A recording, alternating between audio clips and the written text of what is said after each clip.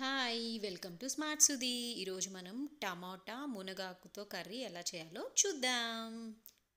First బాండీలో ఒక three spoons oil add చేసుకుంటాము. తర్వాత పోపు వేసుకుంటాము. పోపు వేసుకుని బాగా వేయిన తర్వాత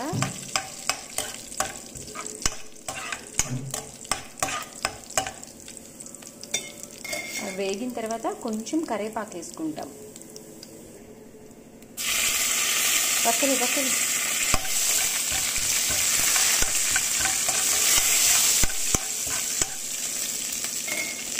కరేపాకు వేసుకుని ఫ్రై అయిన తర్వాత అయిన తర్వాత ఆనియన్స్ ఇంకా పచ్చిమిర్చి యాడ్ చేశాను బాండీలో. ఇది కొంచెం ఫ్రై అయ్యి కలర్ చేంజ్ అయితే కొంచెం జింజర్ గార్లిక్ పేస్ట్ యాడ్ చేద్దాం. ఓకే ఒక టూ మినిట్స్కి ఇది కలర్ చేంజ్ అవుతుంది ఫ్రై అవుతుంది.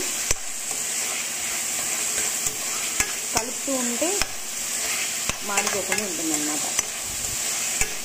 కొంచెం వేగిన తర్వాత సాల్ట్ కూడా వేద్దాం. ఇప్పుడు కొంచెం సాల్ట్ వేద్దాం. ఆనియన్స్ ఇంకా బాగా ఫ్రై అవుతాయి. మా అబ్బాయి సాల్ట్ వేస్తా సాల్ట్ వేస్తా అని గొడవ చేస్తుంటే వాడు ఒక స్పూన్ వేసాడనమాట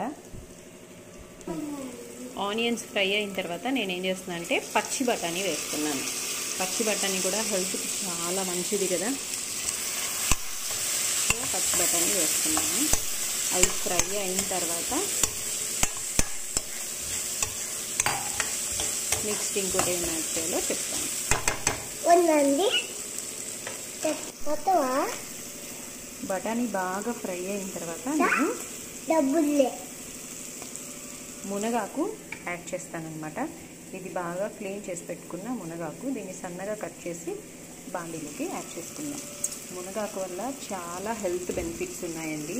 వీక్లీ వన్స్ ఒక్కసారైనా మునగాకు తింటే చాలా మంచిది. కాల్షియం డెఫిషియన్సీ ఉన్న వాళ్ళకి ఐరన్ డెఫిషియన్సీ ఉన్న వాళ్ళకి మునగాకు చాలా బాగా పనిచేస్తుంది. ఇంకా బీపీ అట్లాంటి వాటిని కూడా చాలా కంట్రోల్లో ఉంచుతుంది అనమాట ఫుల్ ఫైబర్ ఫుడ్ అనమాట ఇది. సో పిల్లలకి పెద్దవాళ్ళకి ఎవరికైనా చాలా మంచిది హెల్త్కి. ఫ్రై అయిపోయింది కదా? ఇప్పుడు మనం మునగాకుని యాడ్ చేసుకుందాం. మునగాకుని యాడ్ చేసుకుందాం. మునగాకుని యాడ్ చేసి అది కూడా కొంచెంసేపు ఫ్రై అవ్వాలి. ఆకుకూరలు ఎప్పుడైనా తొందరగానే ఫ్రై అయిపోతాయి. అస్సలు లేట్ అవ్వదు. ఒక టూ మినిట్స్ అలా ఫ్రై చేసిన తర్వాత టమోటా యాడ్ చేసుకుందాం.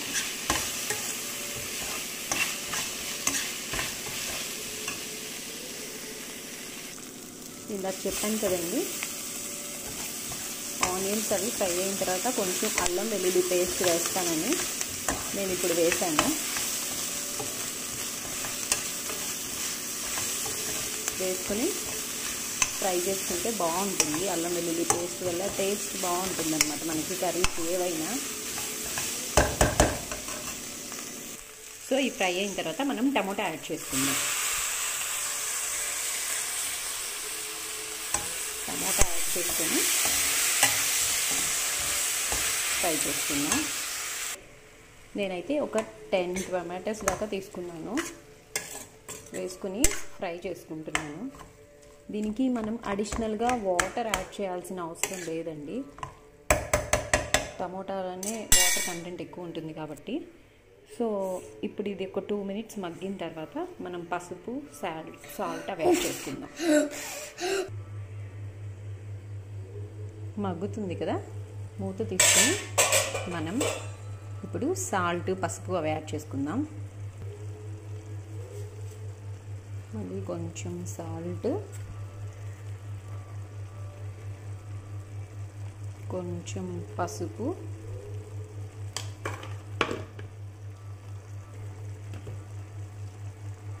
కొంచెం కారం కూడా యాడ్ చేసుకుందాం.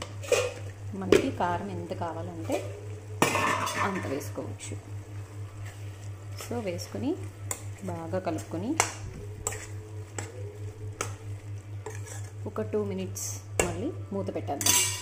మూత పెడితే తొందరగా కుక్ అవుతుందన్నమాట. చూసారా? ఒక ఫైవ్ మినిట్స్కి బాగా మగ్గిపోయింది.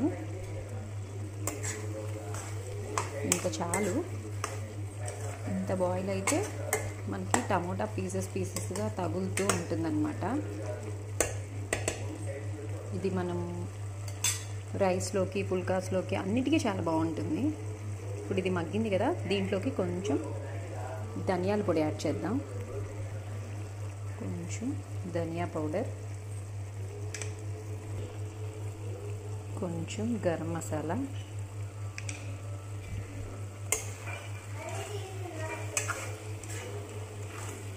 ఈ టమోటా ఇది బాగా బాయిల్ అయిపోయింది. ఇంకా సరిపోతుందనమాట ఇదే కనుక మనం ఆ టమోటా మిక్సీకి వేసి చేసుకుంటే ఆ పేస్ట్ వేసుకున్న కర్రీస్లోకి బాగుంటుంది. మాకైతే ఇలా పీసెస్ పీసెస్గా ఉంటేనే చాలా ఇష్టం. సో నేను ఇలా చేశాను. మీకు కావాలంటే టమోటా ప్యూరీ వేసి కూడా ట్రై చేయండి. అది కూడా చాలా బాగుంటుంది.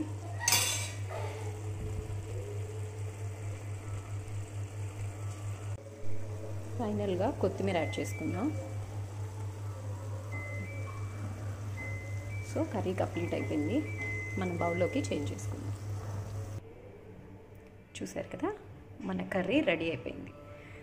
నేను అన్ని కర్రీస్లో ఏం చేస్తానంటే లాస్ట్లో కొంచెం షుగర్ యాడ్ చేస్తాను. దానివల్ల టేస్ట్ బ్యాలెన్స్ అవుతుంది. కర్రీస్ కూడా చాలా బాగుంటాయి. మీకు ఇంట్రెస్ట్ అయితే మీరు ట్రై చేయొచ్చు. థ్యాంక్ యూ అండి. బాయ్.